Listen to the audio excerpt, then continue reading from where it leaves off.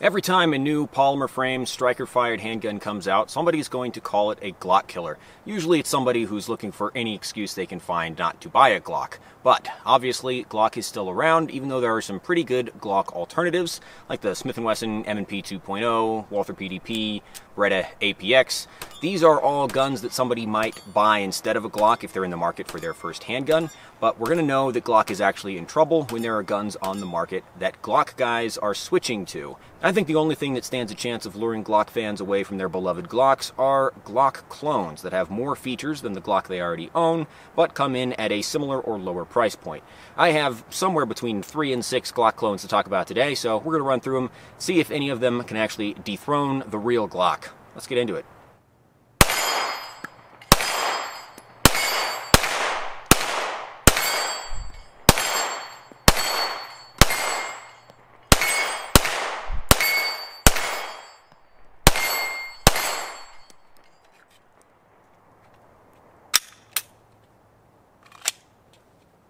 This video is brought to you by our channel sponsor, Venture Surplus, and by pants. Not just pants as a concept, but rather BDU trousers. If you want a nice pair of camo pants, but you aren't on a $400 per pair of Cryes budget, military surplus uniform trousers are the go-to. The biggest problem is finding the right size. I wear the coveted medium longs, which always seem to be in short supply.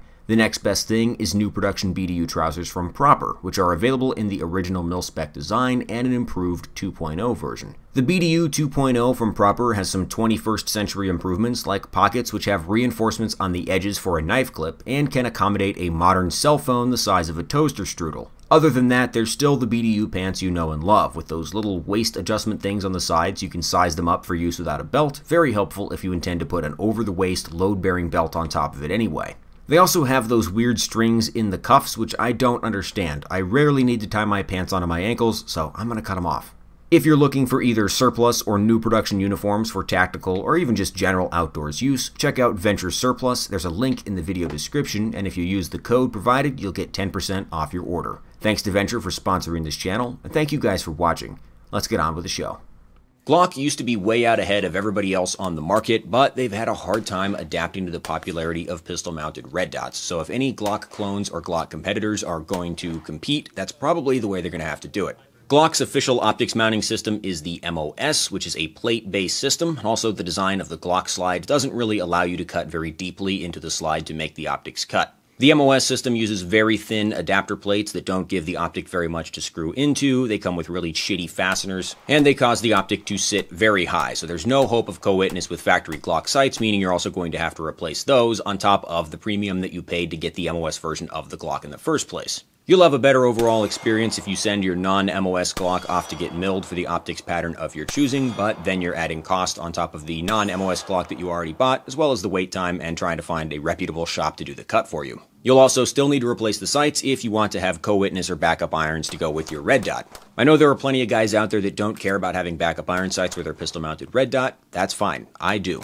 So if you're in the market for a Glock, but you want a little bit more standard equipment, you can either go up market or down market. Thanks to the PSA Dagger, you can actually get a Glock with way more features than a Glock for less money than a Glock.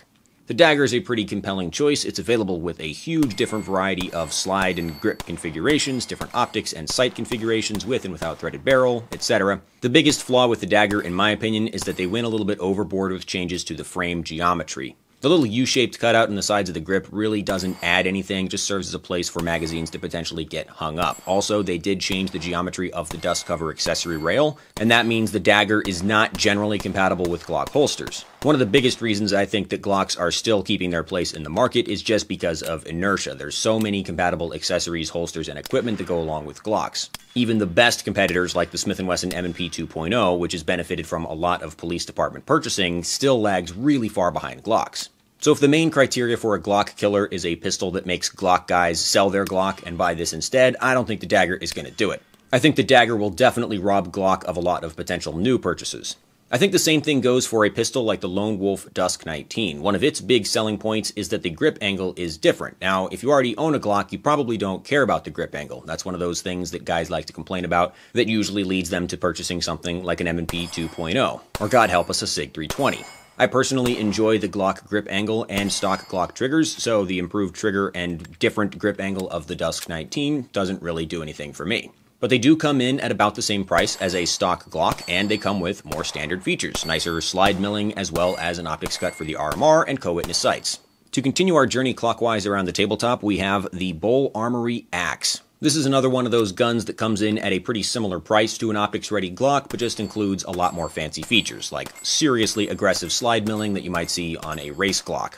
The frame has very aggressive stippling, this thing has oversized controls, and a really nice trigger as well. So if you are already a Glock owner and contemplating sending your pistol in to get a whole bunch of custom work done, it would probably cost you about as much as just buying a Bul Armory axe. And then you get to have two pistols. The super nice trigger, as well as the very aggressive golf ball dimple style machining on the slide, as well as the fact that the iron sights on the axe do not co-witness with a red dot, makes this seem like way more of a race or competition pistol, not a duty or combat pistol.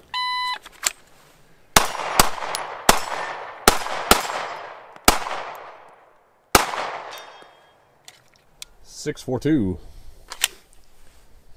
And to bring it full circle, we've got the Shadow Systems MR920. This is probably the most comprehensive Glock killer on the market. The only thing holding it back is cost. It costs a lot more than a Glock. If you're not interested in factory night sights and fancy slide milling, though, there is a cheaper version called the Foundation series of the MR920, which is a lot more in line with the cost of an optics ready Glock. The Shadow Systems guns are a little more of a departure from a true Glock pattern, either Gen 3 or Gen 3 4 hybrid. The MR920 has a universal optics cut that does not require the use of adapter plates. All the optics are directly attached to the slide for security and also allows them to sit lower. They accomplish that by changing some of the geometry, I believe, in the striker channel, as well as the rod that puts pressure on the ejector. The Shadow Systems optics mount really makes the Glock MOS system look like crap. I also just like the MR920 because it still pretty much looks like a Glock, it feels like a Glock, it retains complete compatibility with all of my Glock accessories and holsters. The biggest negative thing I can say about the MR920 is that the trigger is actually kind of a downgrade over a stock Glock trigger, which is usually not the case with Glock clones, except the dagger, obviously, which is way cheaper, so it's kind of expected.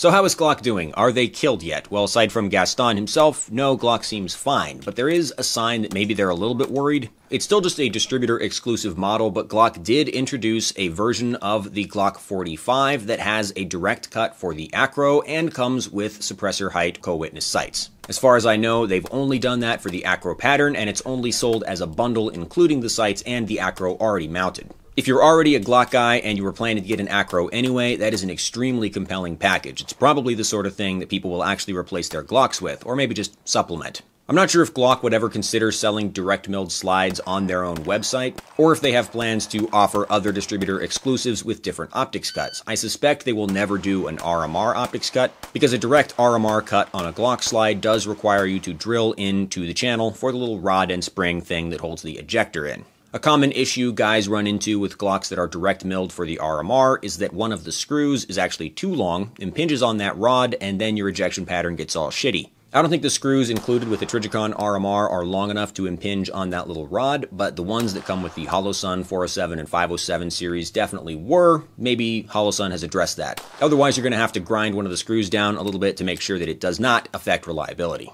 So yeah, Glock is under threat from all sides of the market. Even true Glock loyalists like me find it very hard to argue with stuff like the PSA Dagger, the Shadow Systems MR920, because they do a more elegant job of integrating modern handgun features than official Glocks do themselves.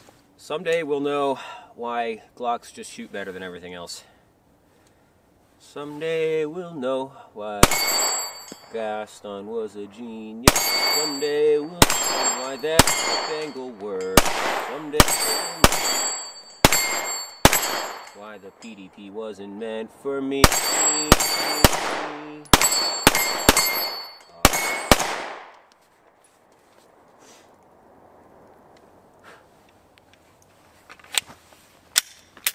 Wow, it's a Glock, but nicer. Anyway, that's all for today. Thank you guys very much for watching. Let me know if you have any questions in the comments below. If you'd like to support the show, subscribe, check the description for appropriate links, and I will see you guys next time. Hey, brother. I'm not gonna lie, but this is about the dumbest thing you've ever done. You know that? Yeah. Because there's no way you thought you were gonna fit into here. You got one little paw in the box. Are you taking a nap now? Are you taking a nap with one paw in the box? Really? What was the point of this endeavor, huh? This is a, among the stupidest things you've ever done. Because it's just. There are so many boxes around here that you could totally have fit all the way into.